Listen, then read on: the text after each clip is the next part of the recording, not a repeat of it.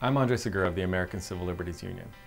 The Supreme Court just decided the case about Arizona's controversial immigration law, SB 1070. The court decided that if an officer stops you and believes that you might be undocumented, then the officer can ask you questions about your immigration status. But this case is only about Arizona's immigration law. No matter what state you live in, though, it is important to know that we all have fundamental rights, even if you do not have papers, and the Supreme Court did nothing to change that. You have the right not to be profiled or discriminated against because of your race or your national origin. If you're being questioned by police, then you have the right to ask if you're free to leave.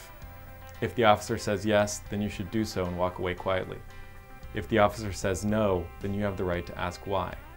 You do not have to agree to a search by police officers, and you should say that you do not consent to a search of yourself, of your belongings, or of your vehicle you do not have to say anything to police officers.